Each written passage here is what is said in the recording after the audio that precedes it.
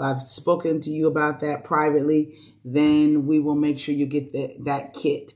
Um, our next um, planning is going to be in the area with um, Astrid. And so um, I'll be getting a book with her. I'll be in the area on October the 3rd, if the Lord says the same. First week in October. All right. Good morning. So can you guys, I know we just did this, but if you could just type that you can hear me, you can see me. Um, as people are coming on, I'm going to have, um, we're going to start with five minutes of intercession and we're going to get right in. it seems like there's a little lag behind. So if you know someone who needs to be in this class, go ahead and pop them over the link. Good morning. You're getting kicked out. Okay. All right. I think we got a good um, thing. So let's see. Um, all right. So I'm trying to add Queen to my live. And if this platform doesn't work as well, we'll go over to free conference call. But I wanted to try this um, versus giving out the free conference call information. You guys tell me which one you prefer. Uh, some people may prefer um, free conference call. You keep getting kicked out of the live stream. Okay. It says my connection failed, so I can't bring anybody on. All right.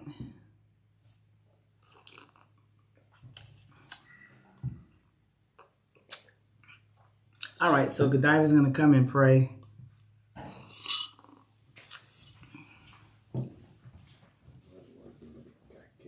Okay, that's fine. She can come here on the camera and pray. Um, I'm going to try to put some background music on. I don't think I can. Go ahead. And I want you to pray for me. I want this to be an example of intercession. So as we start, we're going to start right into the class. Um, she's going to intercede for me, um, just as an example of what intercession looks like. And she is put on the spot, but that's okay because we're in boot camp and we're all a family. And that's why we're in the spirit. And that's why, yeah, satan. You have to have your heart right. You have to have yourself ready because you don't know when God's going to call on you. So it's good to just walk in the spirit, stay in the spirit. Okay, go ahead.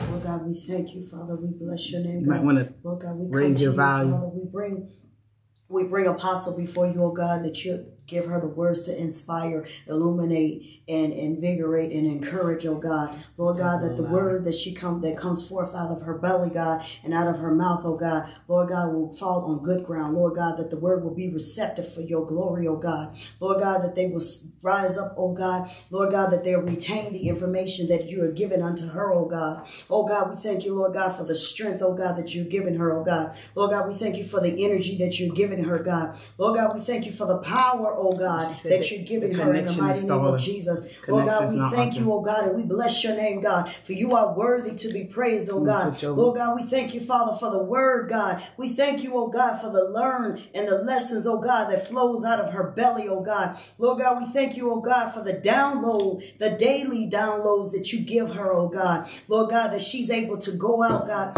and give that to give that word amongst the regions, oh God, amongst the body, oh God. Lord God, that it'll equip us, oh God, to go forth into the regions regions, unto the nations, oh God, that we'll go forth, oh God, and proclaim the lost, oh God. Lord God, we thank you, oh God, for strength, oh God, in the mighty name of Jesus. We thank you, Lord God, for rest, oh God, that you've given the mighty woman of God, oh God, to give your word, oh God, to give the Rhema word, to give the Logos word, oh God. Lord God, with your dunamis power, God, empower her, oh God, even the more, oh God, to go forth, God, and to proclaim the lost, to equip the people to go forth and do what you say, God, to lay the blueprints out, oh God, to, to disciple the people, oh God, that they may go out and proclaim the lost, oh God, that they have the proper tools, oh God, to go forth, oh God, and win the, the, the hopeless, the deserted, the, the heartbroken, oh God, the downtrodden, oh God, the, the shameless, oh God, Lord God, that they would encourage, oh God, and invigorate, enlighten, oh God, for your glory, in the mighty name of Jesus, God, we give you honor. We give you praise for your worthy. In Jesus' name, Lord God. Amen. Okay, you gonna type it on there? Can you type it on there? You on my phone, so you can. Okay. Well, there was only a few people anyway, so we're gonna shift over to free conference I've call. seen people, Okay, that's good. uh, Torrance and Astrid were trying to find it, and they couldn't find it. It, they just had to click the link. So can you message them when you're in the free conference call? Okay.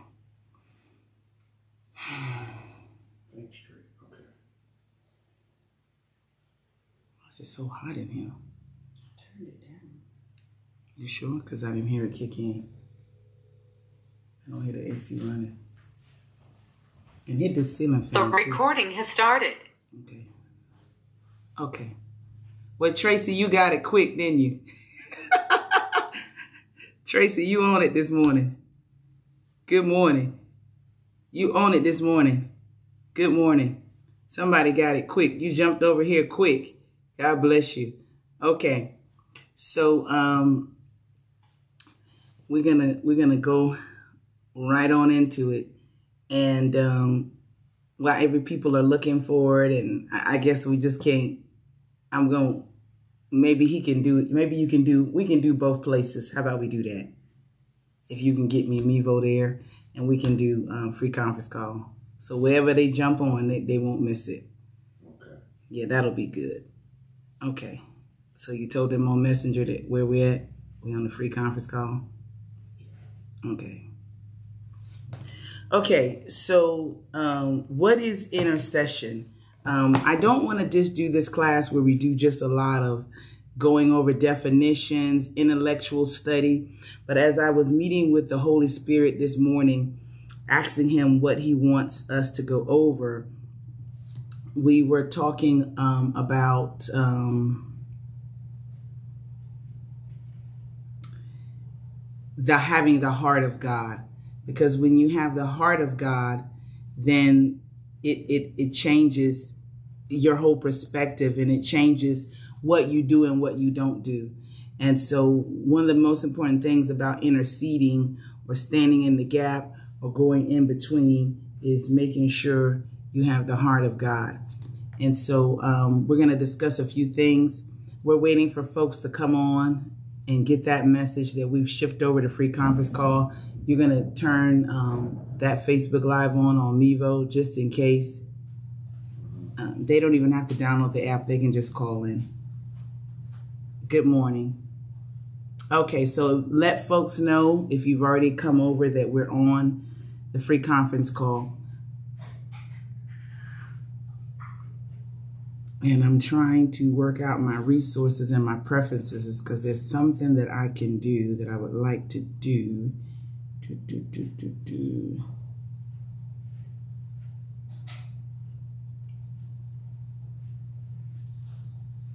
Okay, and so good morning as you guys are coming on. Good morning. Um,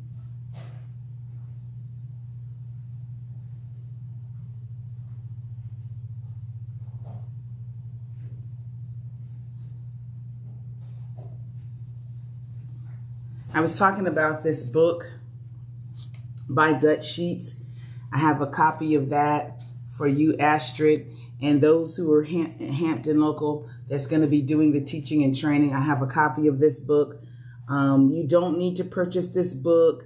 Um, it's not really a. It's really a study guide. Um, I have a copy Eddie Chubb, so we really don't need to go into that much details because it's really just a lot of questions.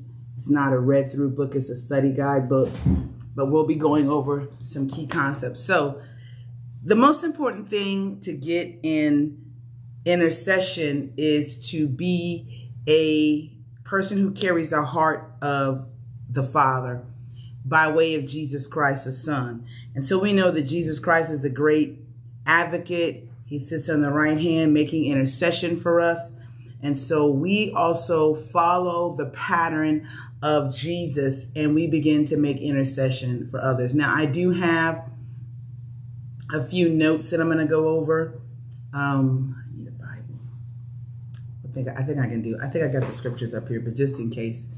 So I'm going to start with First Timothy uh, chapter 2, verse 5 through 6.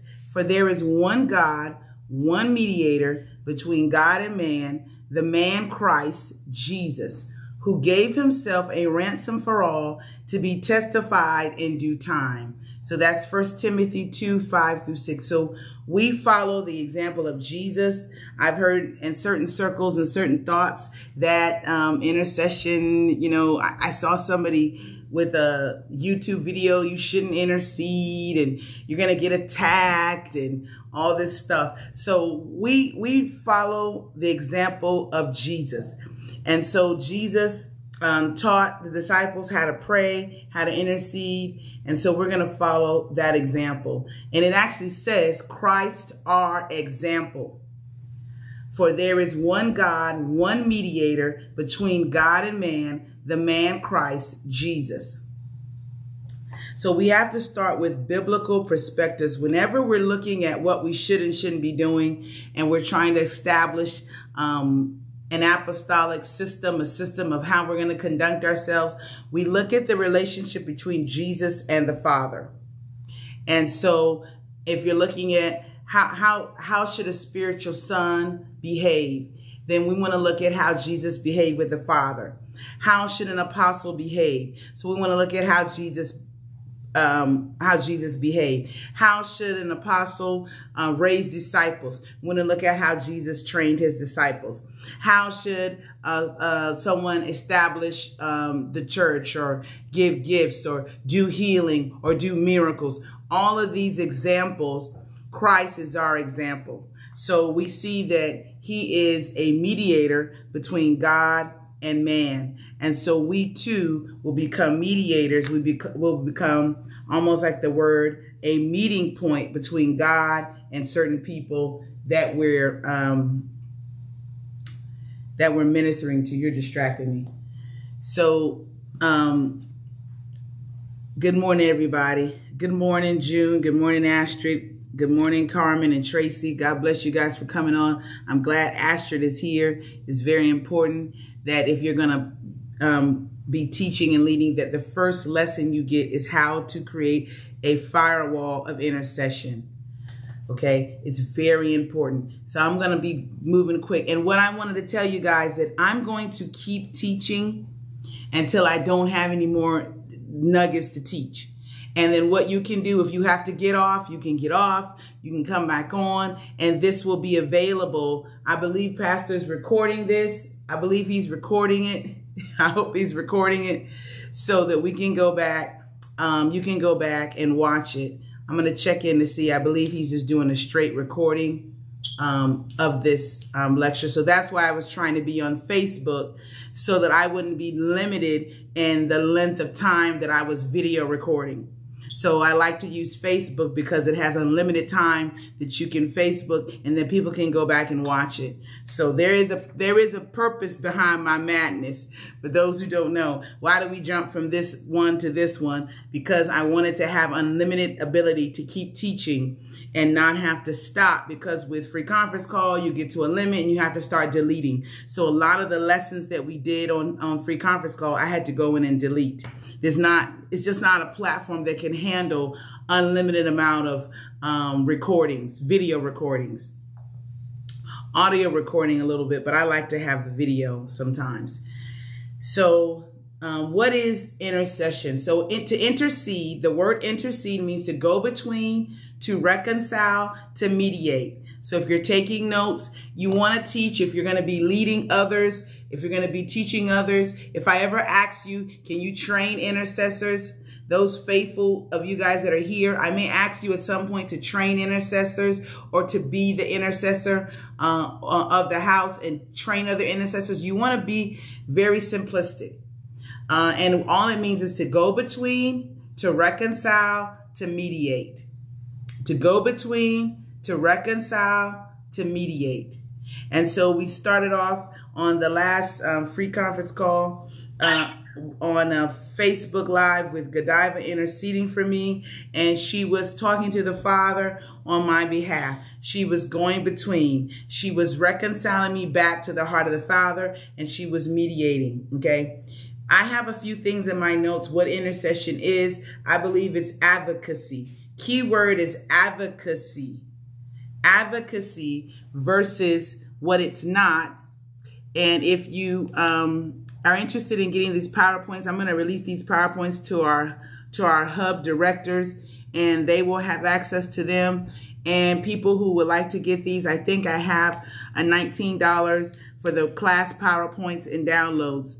Um, and you can you can access that through awnworld.com. So awnworld.com. Someone was asking me, where do I find out what's coming up with the ministry? Well, we do have a full website. It takes a lot of work to maintain it. So I'd love for you guys to just jump on there, make suggestions on what you'd like to see. There's um, new developments coming. We just had a new landing page made. There's a members area that's going to be AWN um, covenant partners only teachings and trainings. All right. So Intercession is advocacy. Somebody, somebody, um, somebody type up their advocacy. I want to make sure you guys are with me. It's advocacy. It's mercy and it's truth.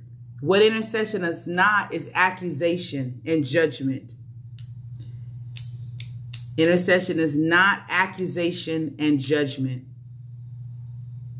And so a lot of times we have people being real weird and being real peculiar, and they're saying that they got this um, revelation while I was praying. I saw Sister so and so doing such and such. And so what I what I want to say to that, and just to cut all of that off, because I just don't see Jesus doing that. I don't see Jesus. Um, in fact, one of the good examples with Jesus saying he prayed for Peter. He said, I prayed for you that your faith wouldn't fail. So he may have seen that his faith was shaky, but Jesus prayed that his faith wouldn't fail. He didn't expose it uh, in the sense that I'm not going to cover it. I'm not going to pray so that it doesn't happen. So everybody see the difference? I'm advocating for this. I'm, I'm advocating mercy. I'm advocating truth versus I'm accusing you and I'm judging you. I saw this in my prayer closet. I saw this going on with this person. So whenever we do anything in the kingdom, we have to do it like Jesus did it. And so when I was in the shower this morning asking the Lord, well, what do you want me to talk about? Because before I meet with you guys, I like to meet with the Lord. I never feel confident coming and meeting with anybody on any platform, on any capacity, if I haven't met with the Lord. I just don't feel good. I just don't feel right. I don't, I just, it, and if it means I'm a little behind, I'm a little late, um, if it means I have to shift stuff, if it means the program, uh, because I just don't like to, I like to bring the, the, the, the heart of the Lord and the heart of the Father. So I don't I don't know what other people do before they minister. I don't know what your pattern is, but if you're following after my pattern, that's my pattern. Uh, and I saw Jesus steal away to pray and meet with the Father before he met with the people a lot of times or in between his meetings. I, and I feel a, a, great anointing on this training today because people have to um, be redirected. And what the Lord said to me, he said, teach the people to love me and I said, Lord, how do I teach people to love you who already love you? they already know you. And he said, no, no, they don't know. They're not carrying my heart. They have to carry my heart. And when they carry my heart, They'll know my ways. They'll know my systems. They'll know what to do and what not to do. So there is a place in God where you move out of religion and you move into relationship. People want religion. They want a list of 10 ways to pray, 10 ways to be an intercessor, 15 ways to do this. And that's okay to the general multitude. But when you're talking about being a leader in the kingdom, you have to be able to hear from God and move with the heartbeat of, of God. The heartbeat